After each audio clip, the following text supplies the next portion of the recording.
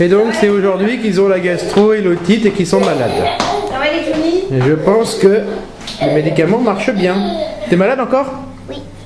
Maxime aussi, t'es malade Ah non. Est-ce que maman, tu veux me passer à faire ma sauter là-haut Non, pas avec les chaussures de papa, ça marche pas.